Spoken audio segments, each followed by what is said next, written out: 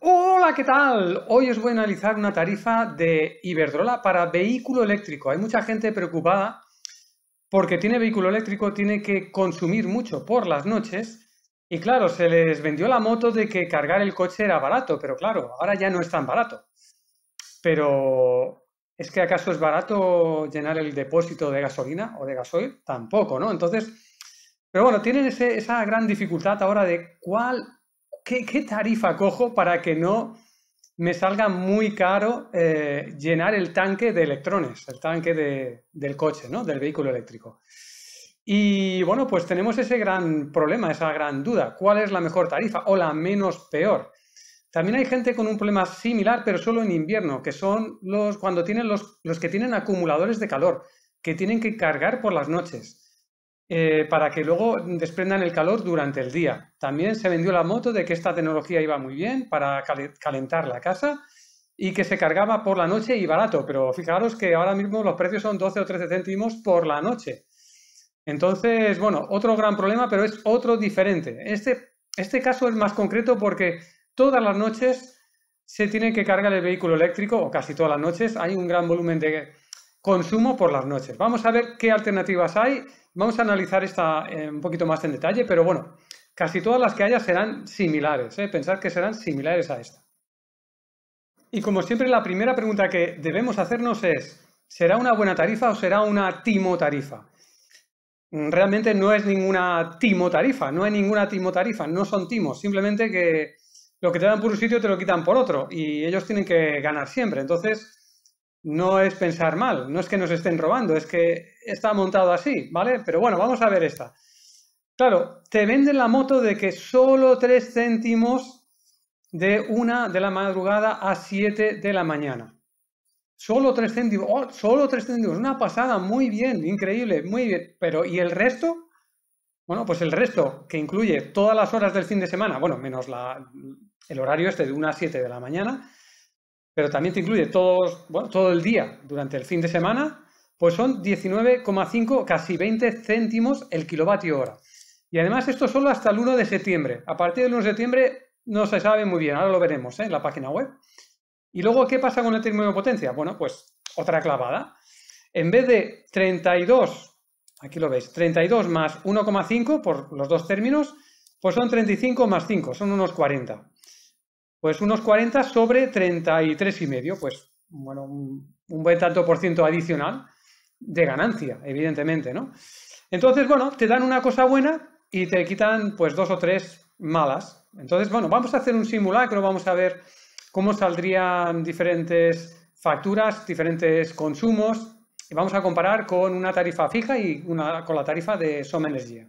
Y vamos a ver qué tal sale. Pero primero os voy a enseñar la página web. Y bien, aquí tenéis la página web eh, de Iberdrola, plan vehículo eléctrico, muy bonito, porque es para mí precio excepcional. Recarga tu vehículo a 3 céntimos el kilovatio, ahorra de 1 a 7 de la mañana, las horas ideales para cargar tu coche. También hay un precio excepcional para el resto de horas que no te lo indican así, evidentemente, te ponen lo bueno, lo bueno que tiene pero no lo malo. Lo malo te lo ponen más adelante. Te dicen que la oferta es válida hasta el 1 de septiembre. Que no tengo claro si es que a partir del 1 de septiembre es más caro o solo vale para la gente que contrate esto antes del 1 de septiembre y le dura un año. Bueno, cualquiera sabe.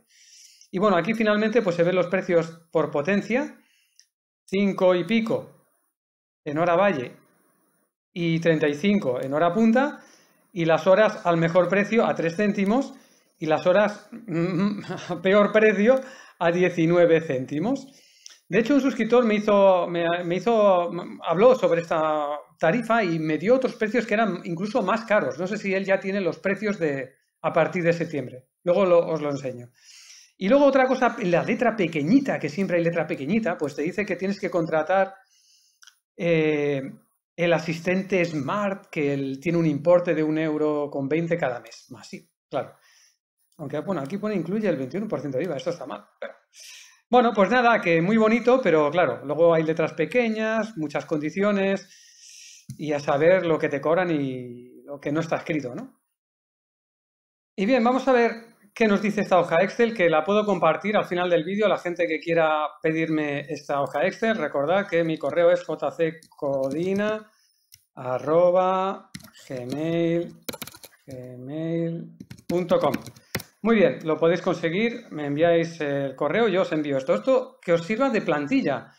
Yo no quiero, os quiero vender ninguna moto, os voy a enseñar Mm, ¿Qué pasa cuando pones un consumo aquí, un consumo allá y por dónde sale mejor si la tarifa de Som Energía, si la tarifa de Repsol con precio fijo o la Iberdrola de vehículo eléctrico?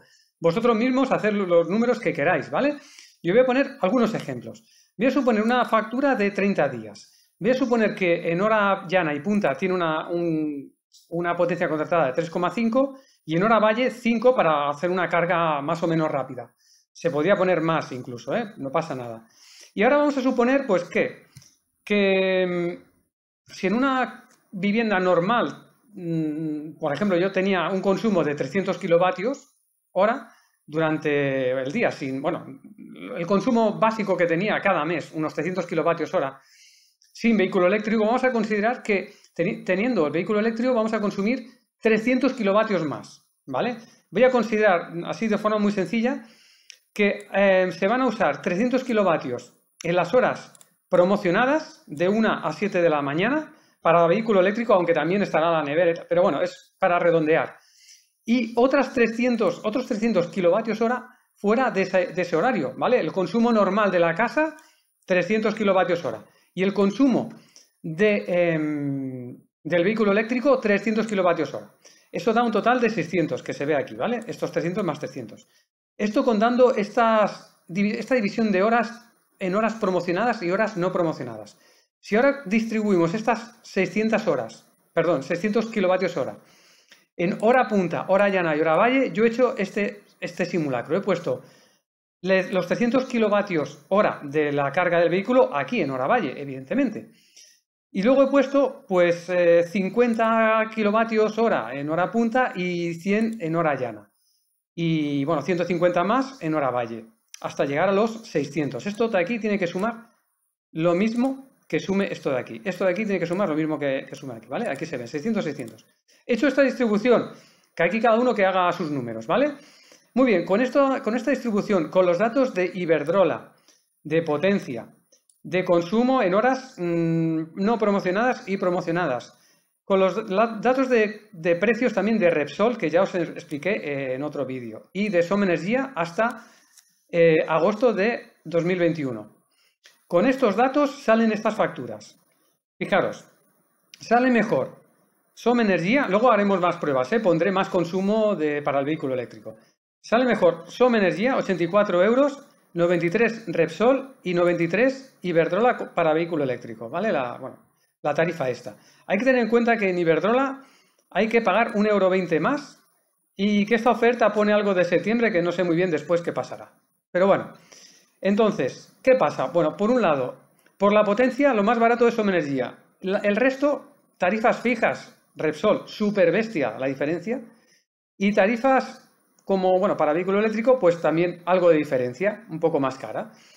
Y donde se nota más la diferencia con el vehículo eléctrico es porque, bueno, se tiene que pagar a un precio muy alto la hora, digamos, punta llana, la hora no promocionada.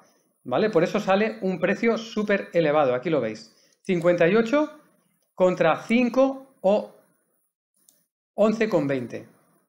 Y en cambio, las horas promocionadas sale solo 9, 9, 9 euros y en cambio aquí pues salen 47 euros y aquí 37,80. Bueno, el total es este de aquí. 61 euros por energía comprada, en el caso de Somenergía, 63 en el caso de Repsol y 67 en el caso de Iberdrola.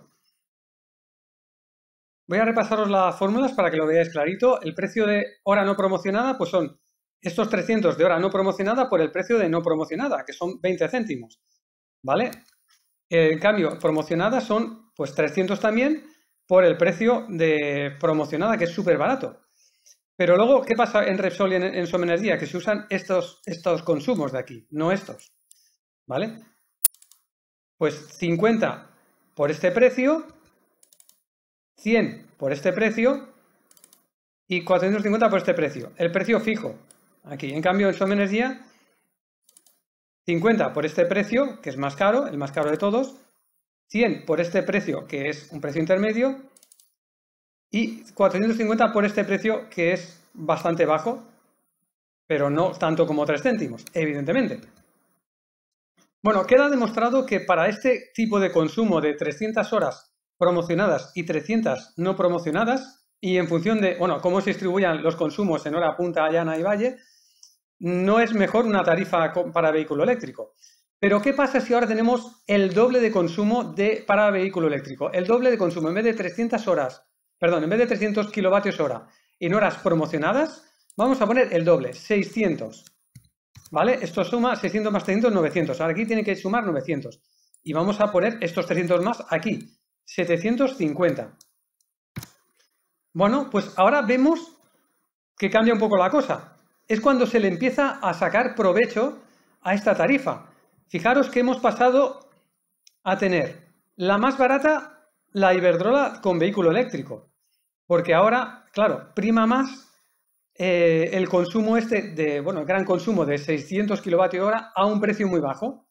Por lo tanto, pues sale, sale inferior, sale 103 euros. Y en cambio, en Soma Energía sale 113, 10 euros más. Y en cambio, en Repsol, con los precios fijos, pues un disparate, 130. Claro, aquí ahora podemos hablar de otras cosas. Que, eh, bueno, hay un, suscriptor que ha dicho que los precios son estos, son más caros. Son más caros de lo que se indica en la web. No sé exactamente por qué. A lo mejor es que a partir de septiembre suben los precios. Bueno, si suben los precios, a ver si lo he hecho bien. Sí. Si sube los precios, los ponemos aquí, ¿no? Pegar valores. Bueno, pues ya han subido los precios, ya 111 contra 113, ya no está tan bien. También es verdad que Soma Energía va a subir los precios, vamos a hacerlo. Si yo no quiero esconder nada, en septiembre suben los precios. De estos precios a estos de aquí. Aquí no se ve nada. Bueno, lo sube, muy bien, pues lo pongo aquí. Soma Energía, aquí. Pegado especial. Valores. Bueno, pues entonces ya los precios no son tan buenos a partir de septiembre. En este caso en concreto que le hemos metido 600 kilovatios hora para la carga del vehículo en un mes, ¿eh? No sé si será mucho o poco, más bien, más bien bastante, creo. ¿eh? Depende del vehículo eléctrico, si es un híbrido, tiene una batería pequeña o no, vais a gastar más o menos 100, 200, 300, 500 kilovatios o 1000, no sé, eso dependerá de cada vehículo. Pero ¿qué pasa? Que eh, Energía tiene otra cosa. Porque, ¿qué es mejor entonces? Bueno, pues depende, depende del, consumo, ¿no? Pero Som Energía también tiene otra cosa que he dicho varias, veces y es que tiene lo de la opción esta de Generation Kilovatio Hora. Fijaros en estos precios. Si pongo estos precios, copiar, pegar, especial, aquí, valores. Fijaros, 98, 100, 100 euros menos menos que 111. ¿Y esto qué es? Bueno, son unos precios especiales si dentro de la cooperativa Som Energía inviertes en paneles, en paneles, no, en plantas solares. Si aportas un dinero eh, para instalar plantas solares que están instalando en, en Ávila, en Sevilla, en Lérida, etcétera, etcétera, tienes un precio especial. Eso sí, tendrás que hacer una inversión que recuperarás. Todo el dinero que pongas lo vas a recuperar en 25 años y además tendrás estos precios y ahí le sacarás provecho. Entonces, ¿qué es mejor? Pues bueno, solo si tienes una, un superconsumo aquí, super bestia, pero de, de 1000 kilovatios hora, no sé, o 600, a partir de 600, o muchos más kilovatios hora em, al mes, te sale a cuenta esta tarifa de Iberdrola. Pero si no, yo apostaría, seguiría apostando por una tarifa de Som Energía y si esto me, me, está dando grandes problemas, pues miraría esto de la, de la inversión en plantas solares y tener unos precios muy justos. Fijaros que en septiembre han subido los precios, pero estos precios no los suben, los precios de la, generación kilovatio hora. ¿Vale? Entonces son precios muy buenos. Y creo que es muy buena opción Som Energía y sobre todo con estos precios. No tienes por qué em, invertir mucho, puedes invertir una parte, 50% con estos precios, 50% con el resto de precios. Entonces es muy buena opción siempre. Y quiero que veáis, que os quede bien claro que yo con estos vídeos, con este ejemplo, no quiero deciros que es mejor Som Energía o Iberdrola o Repsol o lo que sea. Dependerá de muchas, muchas variables. Pero aquí tenéis una herramienta. Podéis podéis usarla, podéis probar, podéis hacer vosotros vuestra propia hoja Excel. Si estos son cuatro números, realmente no, no es mucho más. Os proporciono las herramientas para que vosotros decidáis, nada más. No soy ningún comercial de Som Energía, ni de Repsol, ni de Verdrola. Para nada. Y bueno, mi conclusión final, mi opinión es que esta tarifa puede estar más o menos bien si, evidentemente, si tienes un vehículo eléctrico y cargas más de 300 kilovatios hora, pues 300 o 400 o 500, dependerá de cada uno, dependerá también de los otros consumos, pues puede estar bien. Si, sobre todo también si siguen tan altos los precios en el mercado, en general, ¿eh? en el mercado regulado y en el mercado libre. Si siguen tan altos, pues podría estar bien esta tarifa. ¿Vale? Lo que pasa es que, bueno, las horas no promocionadas también son altos, ¿no? Y sobre todo si no tienes mucho consumo durante el, día, durante los fines de semana, durante los días, los días diurnos, o sea, las horas diurnas y durante todo el fin de semana, las horas diurnas, porque si no, te van a clavar por otro lado, ¿no?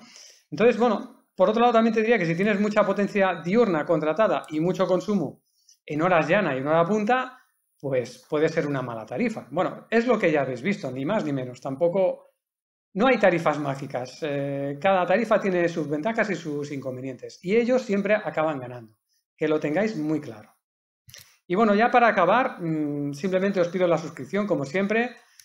Eh, no os voy a dar más la data. Os pido bueno, que activéis la campanilla si queréis ver nuevos vídeos. A partir del fin de semana estaré una semana de vacaciones por el, norte de, España, más bien por el País Vasco.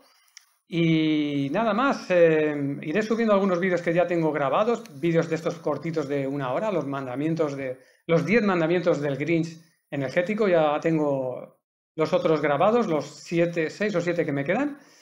Y los iré subiendo cada día para que os acordéis de mí. Igual pues también subo algún vídeo de alguna comilona, alguna cosa así puntual de menos de un minuto para que veáis lo bien que me lo estoy pasando. Y nada más, espero que os haya gustado, espero vuestro like y nada, que no nos muramos de calor y durante esta ola de calor que, que, nos viene encima y que aguantemos, no sé, como sea, con los precios de la luz, ¿vale? Venga, un abrazo, nos vemos. Hasta la próxima.